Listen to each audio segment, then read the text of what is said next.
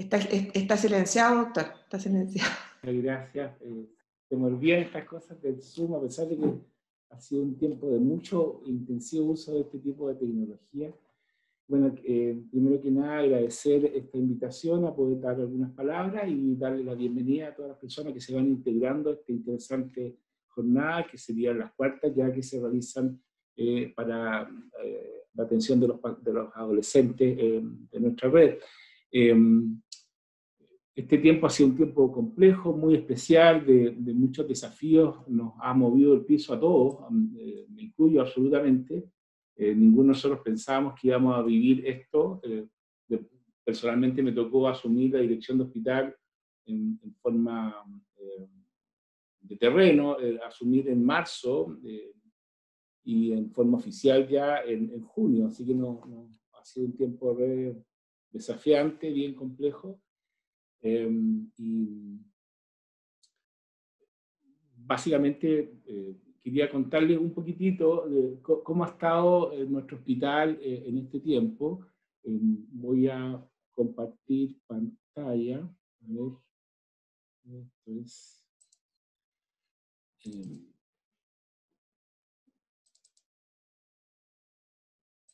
ahí. yo le puse a nuestro hospital un, hospital que da esperanza en tiempo de pandemia. Nos, nos tocó duro, nos tocó re complicado y esa, y esa plantita que está ahí saliendo entre las piedras quiere demostrar un poco lo que estamos tratando de vivir nosotros en, este tiempo. Em, eh, fue un tiempo de, que tuvimos que hacernos rápidamente cargo del hospital eh, con cambios muy violentos, hubo que hacer mucha capacitación, como se ve ahí en estas fotos.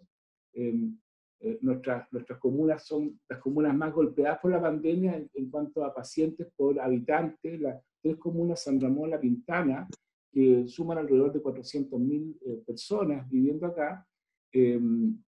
tienen eh, condiciones socioeconómicas bastante complejas, con mucha, con mucha vulnerabilidad social, mucho hacinamiento, hay, hay situación de pobreza, tanto de ingresos como multidimensional, eh, tenemos un, porcentaje perdón, de, de personas eh, pobres bastante grande y eso se asocia a, también eh, comorbilidades, eh, condiciones crónicas de salud con, con, mucha obesidad, diabetes, hipertensión, consumo problemático de, de droga, de alcohol, de tabaco,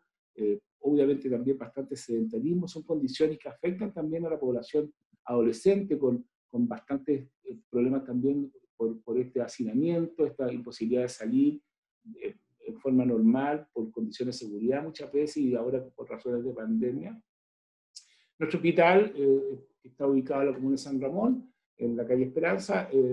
durante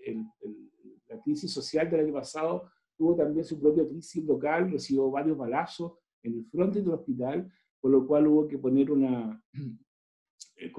cerrar la mitad de las camas del hospital y construir una, una barrera que dificultara, que protegiera las balas, y eso significó hasta varios meses con menos, menos camas. Ahí ustedes pueden ver que en esa época teníamos eh, más de 100 camas cerradas, y bueno, esta es la situación del hospital con nuestro servicio de urgencia pediátrica, adultos, pabellones y UPC teníamos seis camas de UPC eh, para adultos, eh, seis camas críticas de pacientes para ventilación mecánica y en relación a la pandemia tuvimos que hacer un cambio muy rápido y llegamos a tener 43 eh, cupos de ventilación mecánica, tuvimos que aumentar los cupos de, de, atención domiciliaria, fue importante separar nuestra urgencia entre respiratoria y respiratoria. Pediatría se convirtió en un centro de atención de adultos, tanto la UCI como las, las camas básicas, y los pediatras tuvieron que hacerse cargo eh, de atender a los pacientes con etapa final de vida. Todo fue una situación de mucha movilidad y mucho, mucha complejidad, pero también significó postergar la atención de muchas personas. Nuestro CRS prácticamente se cerró, salvo la atención de urgencia, de patologías crónicas descompensadas que requerían control frecuente de pacientes diabéticos inestables, pero eh, significó un retraso en, todo lo que significa eh, actividad lectiva, tanto quirúrgica como, ambulatoria. como les decía, tuvimos de 6 camas de, de cupo de ventilación mecánica a 43 y llegamos a tener más de 50 pacientes ventilados y consideramos también los pacientes que se ventilaban en servicio de urgencia. Eh, un gran desafío para todo el personal que tuvo que capacitarse, aprender. También tuvimos que instalar redes de oxígeno, redes eléctricas, eh, eh, generadores de electricidad para, porque los, los, ventiladores tienen batería de dos horas y si hay corte de luz, habría sido un desastre un corte. Acá está un resumen de lo que hicimos nosotros. El, el, cambio, primero capacitación, el aumento progresivo de camas críticas, aparición de camas intermedias donde había agudas, la urgencia, la urgencia respiratoria separada la no respiratoria, conversión de camas de maternidad, aparición de camas nuevas, apertura en, lugares donde antes había oficinas, como la, la, parte de la dirección, donde había solo oficinas, se tuvieron que poner 25 camas básicas para atender pacientes quirúrgicos.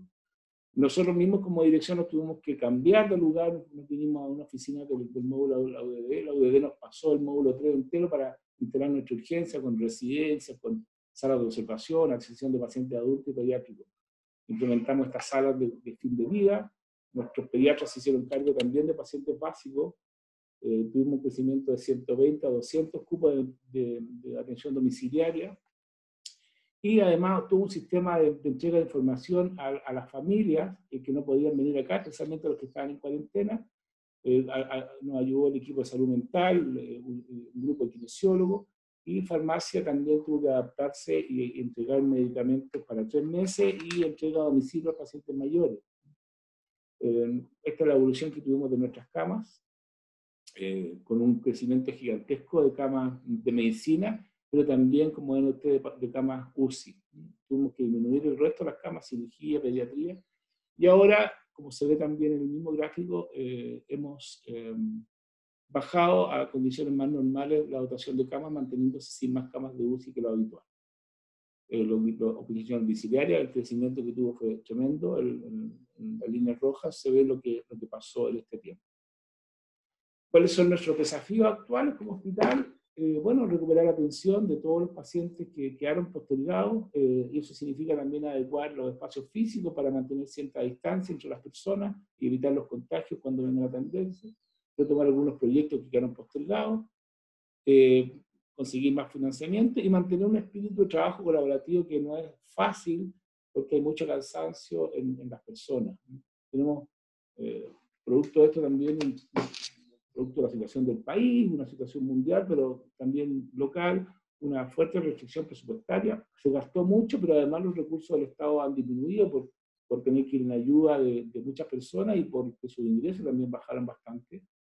Eh, tenemos que hacernos cargo de que hay mucho personal que está en grupo de riesgo, no puede volver o tiene que cuidar a sus niños en sus casas. Hay mucha gente que ya está bastante cansada física y psicológicamente, que se mantiene el temor a contagiarse o un rebrote. Eh, bueno, lo, lo, que yo les decía a ustedes que, eh, que hay una demanda asistencial insatisfecha que tiene que resolverse y también hay situaciones más locales como un proceso de traspaso que significa algunas tensiones, incluyendo alguna eh, necesidad de mayor colaboración y conversación con las asociaciones de funcionarios. ¿Cuáles son nuestros desafíos para el próximo año? Eh, bueno, completar el traspaso, que es una cosa bien local, pero también mejorar nuestra gestión, mantener una motivación importante a la gente, tanto con o sin rebrote, eh, mejorar las situaciones de brecha que se hicieron bastante evidentes durante la pandemia en nuestro hospital, que ha sido un hospital que durante años ha ido perdiendo algunas capacidades y uno se ha puesto al día las, las, las, las nuevas eh, avances de la medicina en muchos aspectos. Así que la idea es eh, lograr un crecimiento que sea tanto desde el punto de vista técnico como humano eh, este, en este año que viene, que no, no es necesariamente más fácil que el anterior. Eso brevemente lo que les quiero contar del hospital. Eh, nosotros tenemos bastantes desafíos por delante y uno de los desafíos es también hacernos cargo de la población adolescente. Eh, hay grupos de, de, de, de personas que, eh, voy a ver si puedo dejar de compartir pantalla acá. Eh, hay un grupo, hay muchos grupos de personas que se han visto afectadas por esta pandemia. La, los, los, adultos mayores, la, niños pequeños, los padres y madres de estos niños que han tenido que asumir la eh, tarea del hogar, eh, compartiendo tanto el trabajo que se hace por, por teletrabajo con la educación de los hijos y las labores domésticas que producen ciertas tensiones, pero especialmente también los adolescentes, que en una época en que ellos necesitan el contacto con sus padres, salir de su hogar, hacer su propio mundo, afirmarse, la necesidad de conocimiento entre todos y autoafirmación se ha ido probablemente dañando y afectando bastante en esta época. Hemos tenido más enfermedades de, por ansiedad, por angustia, eh, intentos de suicidio. Eh, son situaciones re complejas que eh, este, este, equipo que ahora se junta para conversar de estos temas requiere que enfrente como un desafío importante. Por lo tanto, yo me alegro mucho que el, enfrentamiento de esto tenga que ver con, eh, con la situación de pandemia de, de, este grupo de personas que requieren bastante apoyo, a pesar de que ellos quieren cada vez tener más independencia, que es lo normal, en tomar sus propias decisiones, necesitan el cariño, el acompañamiento y la comprensión de todos nosotros. Eh, así que nuevamente felicitar y dar la bienvenida a todos ustedes por integrarse, darle las gracias al equipo que ha organizado esto, de la Red Santa Rosa, la Universidad del Desarrollo, eh, de, Medicina, las carreras de salud y, la Facultad de Psicología, eh, que, hacen que eh, estas jornadas sean realmente una muy buena instancia de reflexión, conversación, intercambio. Ustedes van a ver, hay temas relacionados con la alimentación, con la actividad física, con la educación, con el aprendizaje, el uso de las redes sociales, que son de tremenda eh, actualidad y necesidad de que, conversemos, reflexionemos, nos juntemos un rato porque esto no es fácil y hay mucho que aprender y la pandemia no lleva un año en el mundo, así que nos, queda mucho todavía por, por, saber del virus, del comportamiento de él y también del comportamiento de nosotros como personas, como comunidad y como, en, en fondo, como, como, sociedad en general. También nuestra crisis propia chilena, que aunque se repite en otros países también, de la modernidad, del individualismo, eh, no, también no, no, nos produce un desafío de cómo hacernos cargo de los jóvenes que en esta etapa, que normalmente es de incertidumbre en la vida, pero también de mucha esperanza, eh, conversa con esta etapa del mundo y de Chile que también es de mucha incertidumbre y también de mucha esperanza. Así que nada más, yo quiero darle la bienvenida, sé que hay más de 100 personas que se van a conectar, eh, me, alegra mucho, me, soplaron que hay desde, muy al norte, Arica hasta Puerto Natales, me parece increíble, eso es una ventaja esta, que hemos ganado con esta nueva tecnología, cosas que jamás se nos habría ocurrido que podían pasar, espero que el próximo año haya también gente de España, de, Sudamérica, de, no sé, de los latinos de Estados Unidos, y quizás en una época posterior tengamos traducción simultánea y lleguemos más gente. Pero por ahora démonos por contentos por la cantidad de personas que se han inscrito y que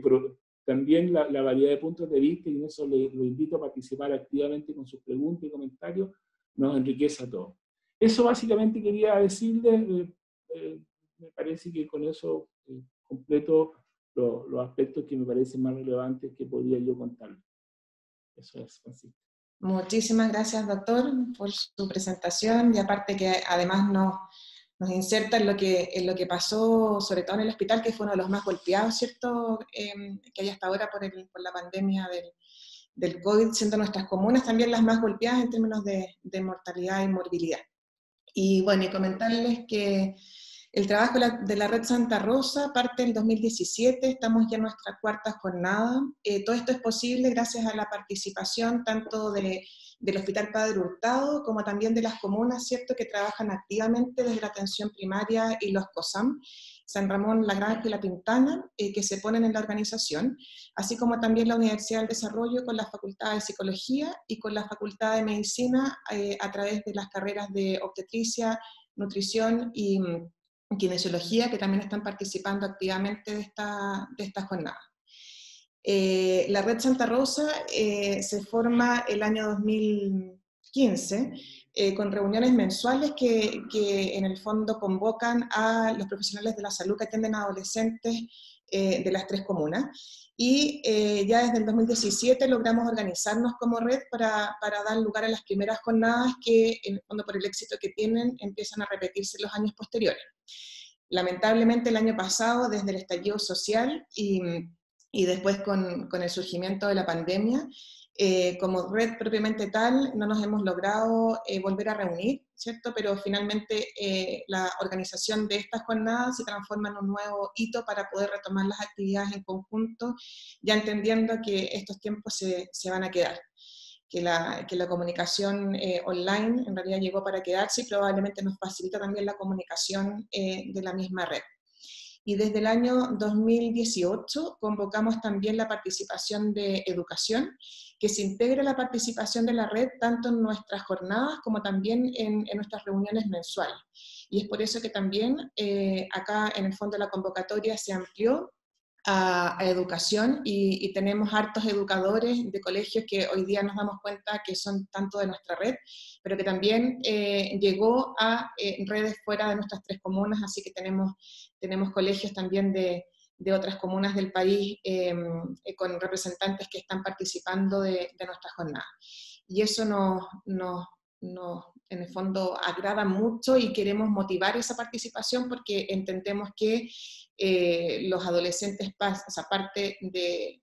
importante de su, vida, aparte de estar dentro de sus familias y de contexto social, está también dentro de los colegios. Y por eso que nos es tan importante la, la participación de educación en nuestra jornada.